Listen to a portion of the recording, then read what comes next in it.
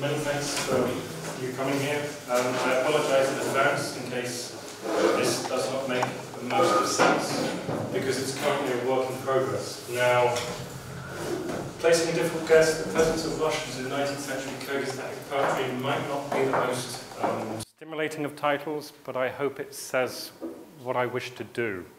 Now, my background is history and medieval literature. And one of the things that I find myself doing here is trying to employ this methodology onto the material of corpus of, of Manas. Now, um, my thesis statement, get it in quickly, Manas material collected in the 19th century records Kyrgyz views regarding the increasing presence of Russian colonialism. Now, Manas is typically seen as a compendium, a collection of Kyrgyz history of the 8th, 12th, 14th centuries. And what I would like to suggest as well is that rather than look at this speculative view of Kyrgyz history, we can use it to record and investigate views which the Kyrgyz audiences and the Kyrgyz performers had at the time the stories were told. Now, this is part of a, a research group based at AUCA called the Analyzing Kyrgyz Narratives Research Group. The first publication I was hoping to show to you today, um, but unfortunately the publication has been delayed. Um, and what we did was we analyzed modern performers. Um, we took various transcriptions and um, run them through plagiarism software to see formulas and selections. Now, I will be hopefully, if you're, if you're willing, hopefully talk about this when it's in print. Now, I will be using, because most of this is text, text, text, text, text, for a bit of change for you to see this, I'm using photographs taken from the collection of György Almásy, who was a Hungarian explorer who came to Central Asia at the start of the 20th century. Um, and I've got a research project in Budapest which is looking at his collection. I don't believe much of these are known in, in Kyrgyzstan, so one idea which we're proposing is an exhibition of his material. Um, I will shoehorning in um, biography. I will have a fellowship in Leiden in the coming months where I will be doing digital analysis of 19th century Kyrgyz literature, where again I'm using computer software to analyze this material. Um, now, some of my colleagues and some of my students asked me the question, do you actually read a word of Manas, or do you just do computer analysis? And to answer this criticism, I've decided to discuss a single word in Manas, um, which is oros. Here's the definition from Yudakhin, which, as you can see, is clearly Russian. And this is a, an interesting, provocative issue because, of course, the Russians, as we know, became part of Central Asian history pretty much in the 19th century with colonization. So if Manas describes the 8th, 14th, 12th centuries, they should not be there. Yeah? So what we have to do then is work out what are they doing there and how do we assess what's their presence. Now the first version which was collected was 1856 by Chokan Valikhanov, and he collected a version called the Memorial Feast of Kokotoy Khan. This does not feature um, this does not feature the word Oros, but I'm including it because it has the difficult guest of the title. Because in the Memorial Feast, they invite people, and the first person who gets invited is a person of Kazakh ethnicity to assist. And this appears to be the Kyrgyz performer trying to win sympathy from the Kazakh officer in the Tsarist officials. Now, the versions which I will be looking at in this talk will be those collected by Radloff in 1862 and 1869. Now, um, this, these are the versions he collected. Um, this is Valikhanov at the top. And these are the ones which mention, um, these are the ones which mention Oros Russians. Interestingly, these ones don't, which we'll discuss later. And he also collected Jolai Jolaikan and Tostuk, which I have not yet had the chance to look at, so this is quite speculative. Now, arrow following. Now, these are the Bugu tribes he collected. He also collected from the Sarybagysh tribe, and we have a photograph from um, Almásy of the Sarybagysh tribe. Um, again, I don't know whether this photograph is known in Kyrgyzstan. This is why I would love to exhibit them here. Um, this here is, if you're wondering, this is the um, archive number of the photograph. Um, now, the main enemy of Manas in the 19th century versions are the Kalmaks. Now, the Kalmaks are a curious group because in some parts they have Mongolian features and in other parts they have Chinese features. They're a mishmash.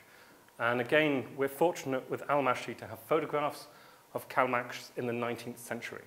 Um, and you can see in terms of dress and style and status, there's visual differences. But we also have the Oros, the Russians.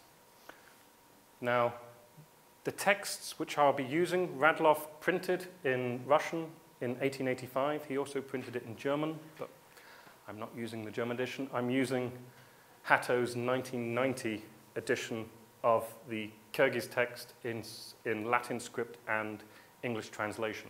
So you'll be seeing a Cyrillic version with Radloff's, um, which Radloff altered to accommodate Kyrgyz, Kyrgyz text in Latin script, which Hatto did, and then Hatto's translation. So if we take the first story, which Radloff collected in 1862, Alimbet comes to Manas. The Russians appear in formulaic sections. Formulaic sections in oral poetry are when you have these phrases which are repeated and repeated.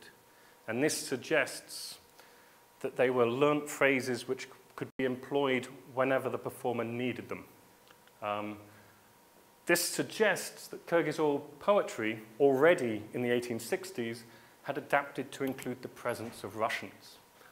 And interestingly, in, one point two, in, in this, this story, the Russians are presented as a military force, and they're also presented as being quite clever.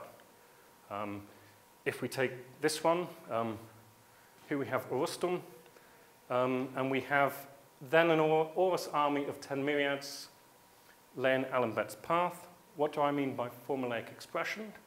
Because we have the same statement repeated later. This is 260, 65 line, 272, 74 line, and we have it repeated again so this is a line, this is an image, which gets repeated by the performer in the text. So this is the Russians being militaristic. This is the Russians being clever. Um, Akolpok, which is Manas's armor, um, the performer, the Kyrgyz performer says it's made by Chinese armorers with their skill, Russians masters with their cunning, Kalmak masters with their guttural songs, an interesting bit of 19th century Kyrgyz racism here. And what's quite striking is when it gets repeated, the Kalmak insult disappears, but the Russian detail is still considered to be important. So we can see that Russians, already in this first story, have a significant presence in the narratives. Um, if we go to the next text, Duel between Manas and Kokol, again collected 1862, we have this curious figure of a white padishah. Um, padishah is kind of Kyrgyz attempt to translate czar.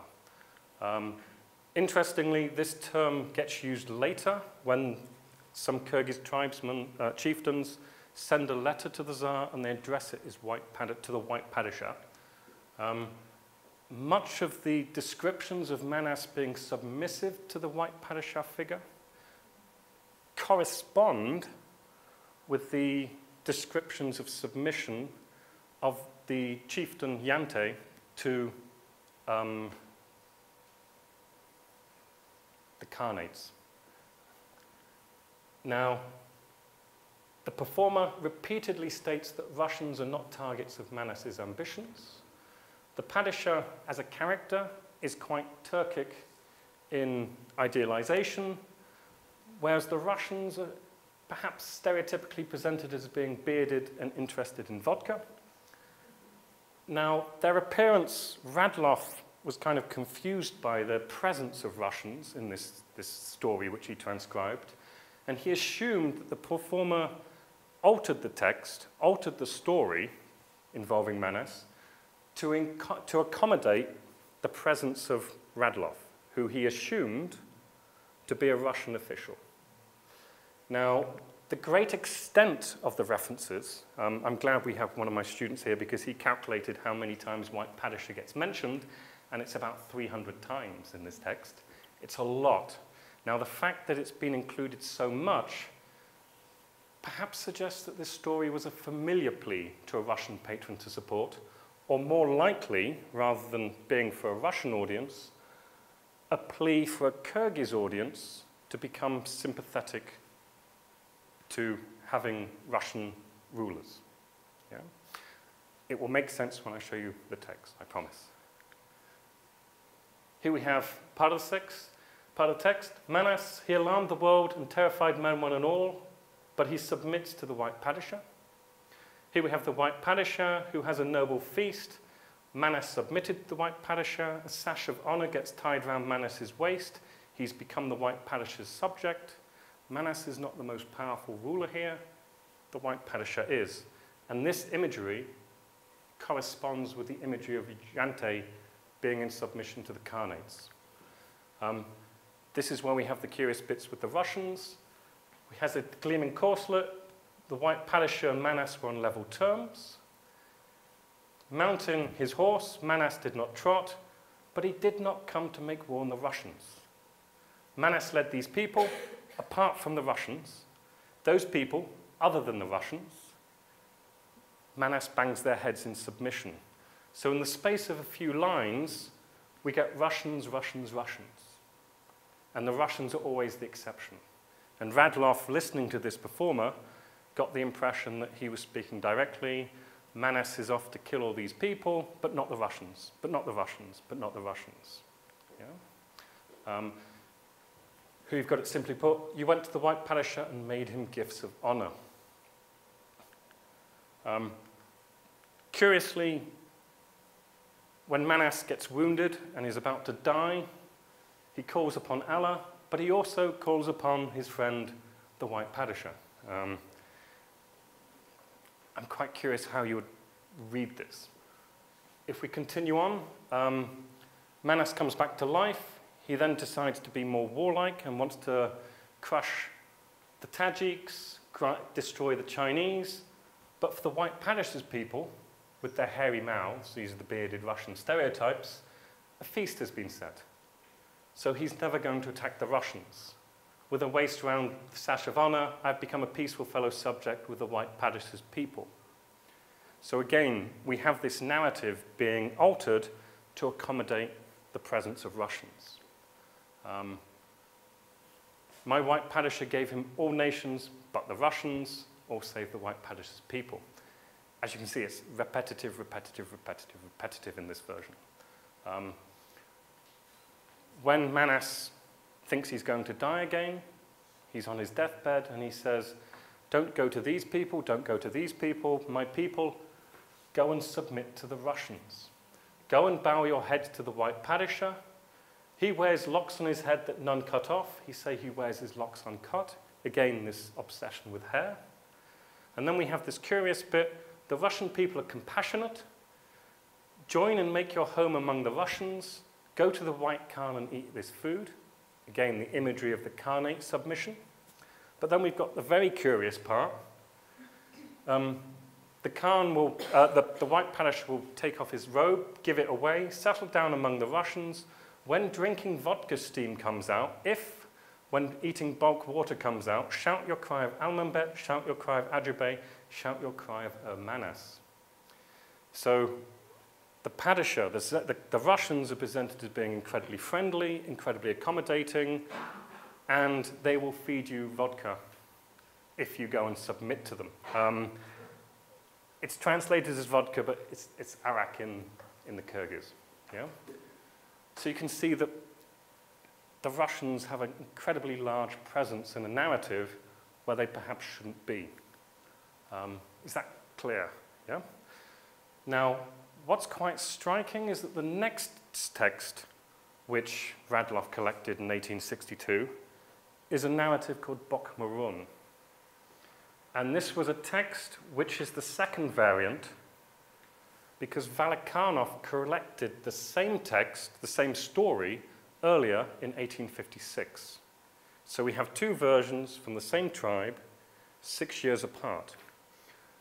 So it's a retelling. And in the earlier version, Manas's rival, Joloi, is a Kalmak, who you saw a picture of earlier. In Radloff's version, Joloi is Russian, yeah, which is quite a change. And now part of the plot only makes sense if Joloi is Kalmak. There's a bit where Almenbet suggests that the, his, his spy should dress in Kalmak fashion to spy on Joloi. This wouldn't work if Joloi is Russian. So we have here a performer changing the ethnicity of the character, but not changing the content. Now, Joloi also wrestles in Kalmak style. This has confused editors. It confused Radloff, and it confused Hatto, who said that this looks like a strange lapse by the performer. Um, he says it could be done humorously or inadvertently, and he suggests that the text would become tolerable if we changed the word Oros to which is a, a Mongolian tribe. Now, Hatto was not really sure whether he could do this, so he suggested perhaps there was a resemblance between Joloi and some hearty Russian frontier types. So this is a, a, very strange change which scholars have looked at and thought, how do we explain this? Is this the performer making a mistake? Is this the performer changing something to make a joke? Is this the performer doing something odd? Now, my suggestion is that this is a comment on the presence of Radloff to the performer, and it's a possible hostile variant of the white Padishah. So this is a performer who's very dismissive of the Russian presence, in contrast to the previous performer who was very supportive of the Russian presence. Now, we can see this because here we have Joloi's invitation to the feast, Big Joloi, Khan of the Oros, Ostan Khani, and he's described as the leader of the infidel people, which is his typical expression. And so what we have here, quite fascinatingly, is Joloi connected to the infidels, connected to the Russians. And we know this is deliberate um, this is Hatto saying Oros normally indicates the Russians. We know this is deliberate because much later in the text, they re, the performer restates the fact that Joloi was Russian. So it's not an accident, it's a deliberate choice. We also know this because when there's a, a, a horse riding game, Hatto's plan to put Oirot in doesn't really work because we have both ethnicities here. So clearly, the performer knew the difference between the two, He really wanted to stress the fact that Joloi was Russian. So this appears to be a kind of subtle joke at Radloff's expense and perhaps on the Russians, who are being presented not as being kind, um, what's the word? Sorry, my English is dying. Um, kind um, rulers who give vodka if you ask, but rather leader of an infidels who's greedy and wants to conquer and conquer and conquer. In Koskoman, we have a minor character made Urs. This is possibly, though, a slip, an alliteration, assimilation, and it's such a short one, Orok Batter of the Orus. Um, it should be Nogai, but they've made it Orstan possibly for alliterative effect. It's not really clear. It's a very brief inclusion. So we have, in these stories which we've mentioned, we've had um, Russians being appearing as a formula. We've had Russians appearing as gentle, generous hosts.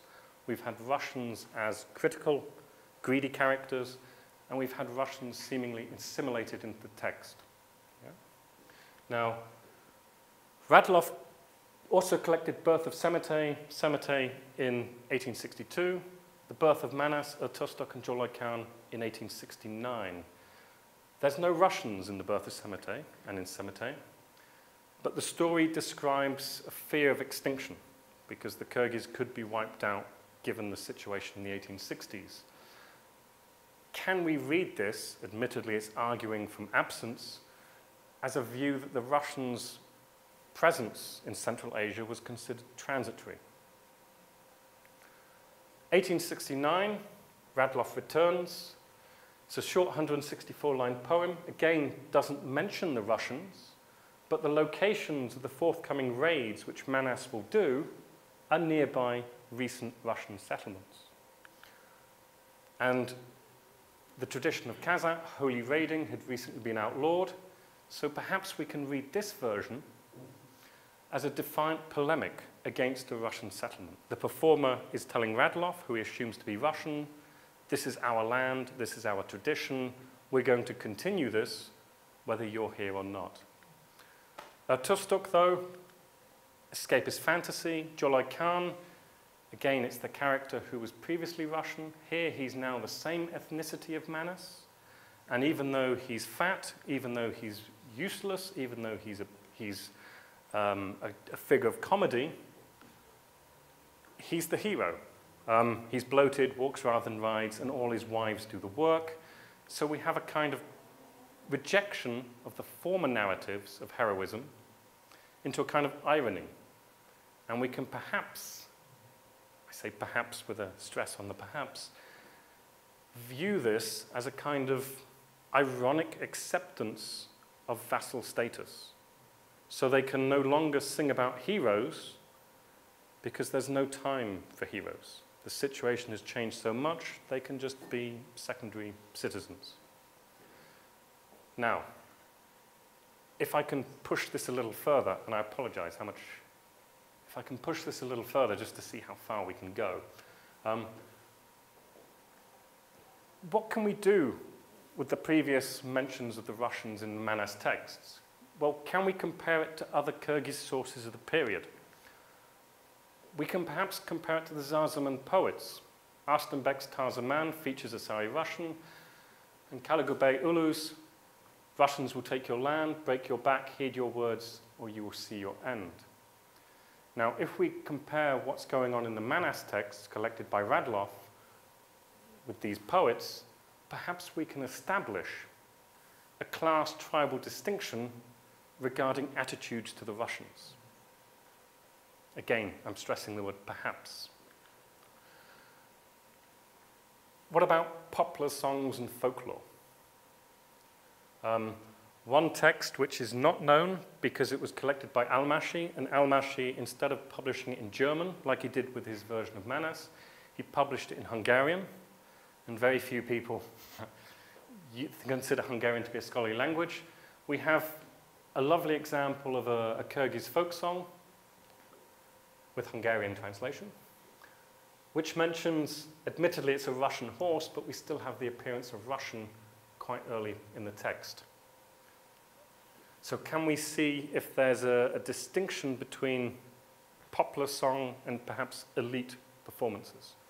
Again, this would show us different attitudes to colonization. Um, another thing perhaps we can do is look at the role of the performer and look at the role of the intermediary between the Kyrgyz tribes and the Russians and the foreigners. Um, here we have Turgan. Um, next to him are Almásy's two sons. One of them is Laszlo Almásy. Turgan appears to be the first Kyrgyz person to go to Europe. Um, he gets taken to teach these two boys Russian. He also sings, according to a newspaper report, he sings performances of Kyrgyz songs outside of Budapest in 1900. Um, but he disappears from the record, so if any of you know this guy, please tell us, it would be lovely. Um, but we can also look at Russians in the later period, at the turn of the 19th, 20th century, for the creation of an imagined community of Kyrgyzness and the forging of an identity. Um, this is the Saban Batyr Codex, the printed by Brill, and this is the Saban Batyr Codex, the manuscript in the National Archives here. Um, this is the lovely text. Um, the doors are locked. I expect the translation in about five minutes. Is that fine? And here we have Manas, and we have Manas Noygoi, which is his ethnicity, and someone has tried to remove it because we have the period when Manas changes his ethnicity to becoming Kyrgyz.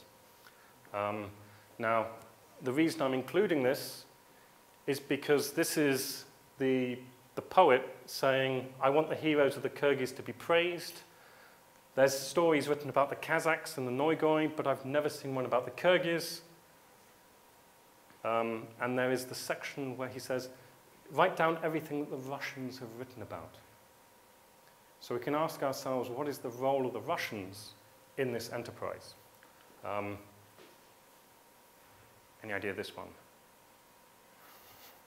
This is the first text written by a Kyrgyz which is a transcription of a version of Semete from 1899 by Maldebe Borzo Ulu. And this is at the top is Kissa of Semete. Um, and the reason I'm including this is because we have other versions of Semete. Again, these are versions of Kyrgyz poetry published in, um, this is published in Ufa, and this is Semete published in Moscow, one 1911, one 1925. Um, sorry.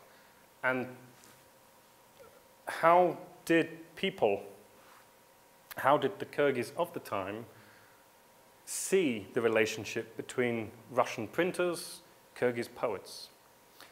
And we can see this perhaps interestingly finalized in the last section. Um, this is Rezbekov's version. Um, here we have lovely, lovely Arabic script handwriting. And can you see the watermark of the Hammond sickle at the top. We have this section where Rezbekov is simply listing all these different groups of people.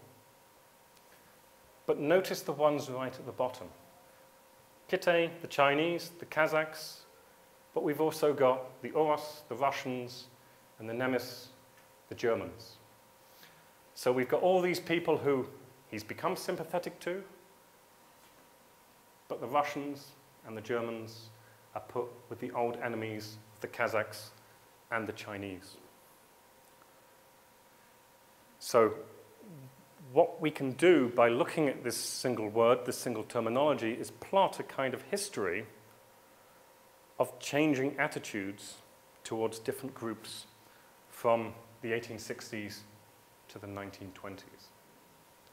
Um, my apologies for the rushing. Any you still have time for your translations if you wish.